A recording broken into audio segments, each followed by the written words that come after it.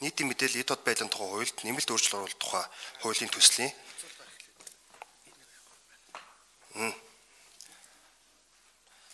За нийтийн мэдээлэл дот байдлын тухай хуульд нэмэлт өөрчлөлт тухай хуулийн төслийн танилцуулгыг улсын их хурлын гишүүн цахим бодлого харилцаа холбооны сайд Нямосрын учрал танилцуулнаа. Банк орны дарга ирэх юм шүү дээ. Монгол улсын үндсэн хуулиас иргэний мэдээлэл авахыг эрхийг хангах төрийн үйлчлэгийг цахим хэлбэрээр хүргэх зорилгоор нийтийн мэдээлэл тод байдлын тухай хуулийг Улсын их хурлаас 12 дугаар сарын 17-ны өдөр баталсан бөгөөд уг хуулиар хаалттай, хязгаарлалтай, нээлттэй гэж зааснаас бусад мэдээллийг ил тод нээлттэй байлгах. Төрийн үйл ажиллагаанд мэдээллийн технологийн дэвшлиг нэвтрүүлэн үндсэн болон дэмжих системийн тусламжтайгаар цахим хэлбэрээр явуулах. Түүнчлэн Монгол Улсын их хурлаас баталсан Алсын хараа 2050 урт хугацааны бодлогын баримтчийн засаглал гих. 5 дугаар бүлгийн 5 5 дугаар бүлгийн 5-2-ын 4-т яам засгийн газрын агентлаг аймаг нийслэл сум дүүргийн төвшөнд үзүүлэх төрийн үйлчлэгийг тодорхойлж, шат дамжлагыг бүртгүүлж, бууруулж, хүртээмжийг нэмэгдүүлнэ гэж тус тус зохицуулсан зорилтыг хэрэгжүүлэх хүрээнд нийтийн мэдээллийн ил дод байдлын хуулинд нэмэлт өөрчлөлт оруулах тухай хуулийн төслийг боловсруулан танилцуулж байна. Монгол Улсын засгийн газрын 2019 оны 149 дугаар тогтоолоор төрийн хэд хэдэн байгууллагын үйлчлэгийг нэг цэгээс үзүүлэх боломжийг бүрдүүлж, өнөөгийн байдлаар нийслэл Улаанбаатар хот 6 үйлчлэгээний төвд нийслэлийн нутгийн захиргааны 12 байгууллагын 186 албаа агч, засгийн газрын харьяа 8 байгууллагын 19 албаа агч, нийт 205 албаа агч, 448 нэр төрлийн үйлчлэгийг аймаг орон нутагт 21 аймгийн төвд засгийн газар харьяа байгууллагын орон нутагт салбар нэгжүүдийн 24 байгууллагын 179 албаа агч 1285 үйлчлэгийг иргэн хуулийн этгээдэд үзүүлж байна. Дээрх нэг цэгийн үйлчлэгээний төвүүд нь иргэд олон нийт төрийн байгууллагад дамжиж үйлчлэгээ авахгүй байх давуу талтай хит ийж аймаг дүүрэгт нэг төвд тухайн төв нь олон ажилтнтайч бүх үйлчлэгийг үзүүлдэггүй ихэнх тохиолдолд эрэлттэй үйлчлэгийн дараалал ихтэй бусад үйлчлэгийн сул байдаг зэрэгээс шалтгаалan иргэдээс гомдол санал ирүүлэх тохиолдлууд олон байгаа тул төрийн үйлчлэгийг бүтэц зохион байгуулалтын хувьд илүү оновчтой хэлбэрээр хүргэх хэрэгцээ шаардлага байгааг харуулж байна.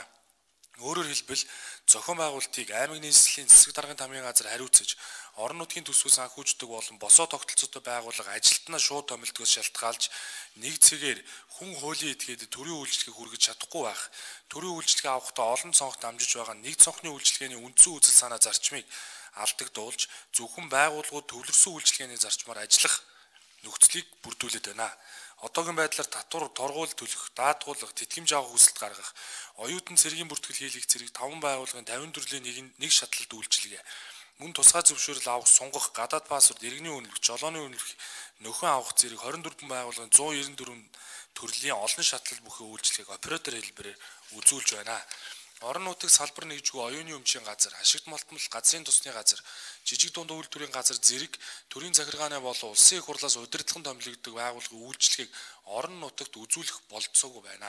Цаашид иргэн хуулийн этгээд төрийн үйлчлэгийг хүртээмжтэй хүргэх зорилгоор нэмж 44 төрлийн төрийн байгууллагын 181 нэр төрлийн үйлчлэгээ орон нутгийн салбар нэгжгүй дээрх байгууллагын үйлчлэгийг оператор хэлбэрээр үзүүлэх шаардлага зүй ёсоор тулгарч байна. Ингэснээр аймгийн засаг даргын тамгын газрын бүтцэд төрийн үйлчлэгээний асуудал хариуцсан нэгжийг байгуулан тэрх тулгамдад байгаа асуудлуудыг шийдвэрлэх төрийн үйлчлэгээний оператор хэлбэрийг нэгдсэн ойлголт стандартыг мөрдүүлэх боломж бүрднэ. Мөн тэдгээрт мэрэгжил арга зүйн тусалцаа үзүүлэх, удирдлага зохион байгуулалтаар хангах чиг үүрэг бүхий засгийн газрын хэрэгжүүлэх шагнаалтлаг буюу төрийн үйлчилгээний асуудлаар үзсэн төрийн захиргааны байгууллагыг цахим хөгжил харилцаа холбооны сайдын эрхлэх асуудлын хүрээнд байгуулснаар төрийн байгууллагаас цахим хэлбэрээр үзүүлж байгаа төрийн үйлчилгээний чанарыг сайжруулж хянаж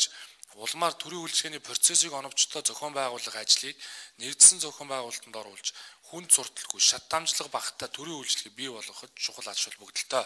Дээр дурдсан хэрэгцээ шаардлагад холбогдох судалгаа тайланд үндэслэн хуулийн төсөл, хуулийн төслийг дагаж боловсруулсан их хурлын тогтоолын төсөл дараах зарчмын шинжтэй зохицуулт байхаар тусглаа. Үүнд нэгт төрийн үйлчлэгээний чанар хүртээмжийг нэмэгдүүлэх зорилгоор хүн хуулийн этгээд өөрт хамгийн ойр байрлах нэг цэгийн үйлчлэгээний төвөөр дамжуулан төрийн үйлчлэгийг цогц байдлаар авах нөхцөлийг бүрдүүлж, төрийн үйлчлэгээ хариуцсан төрийн захиргааны байгууллагыг байгуулж, төрийн үйлчлэгээний төрийн захиргааны байгууллагын орон нутагт салбар нэгжийн удирдлагыг цахим хөгжил харилцаа холбооны асуудал эрхэлсэн засгийн газрын гишүүн удирдлагаар хангаж ажиллахаар тусглаа. Хоёр төрийн үйлчлэгээний асуудал хариуцсан төрийн захиргааны байгууллага түүний орон нутагт газрын хилцс тасгаас хүн хуулийн этгээд үйлчлэгээ үзүүлэх үйл ажиллагааны журам болон үйлчлэгээний жагсаалтыг засгийн газар батлахаар тус тус тогтоолоо.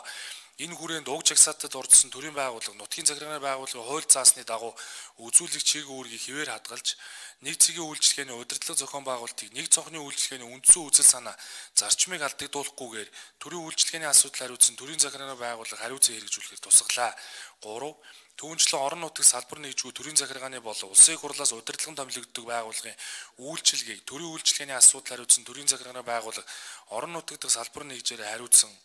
хүргэхээр тусглаа. Мөн хууль заасан чиг үүргийг хэрэгжүүлэхэд холбогдох төрийн байгууллага, нутгийн өөрөө удирдах байгууллага засаг дарга дэмжлэг үзүүлж ажиллахаар тогтлоо. Тус хуулийн төсөл батлагдсанаар иргэн хуулийн этгээдийн хувьд төрийн үйлчилгээг төрийн байгууллагууд биечлэн хандаж авахаас гадна орон зайнаас үл хамааран авах боломжийг бүрдүүлж төрийн үйлчилгээг түргэн шуурхаа хүргэх мэдээллийг ил тод нээлттэй байдлыг хангаж хүнд суртал авилга ашиг сонирхлын аливаа зөрчил гарахаас урьдчилан сэргийлэх улмаар Монгол Улсын үндсэн хуулийн заасан иргэний мэдээлэл хайх, хүлээн авах эрхийг хангах эрх зүйн орчин баталгаатай бүрдэж төрд итгэх иргэдийн итгэл нэмэгдэнэ гэж үзэж байна.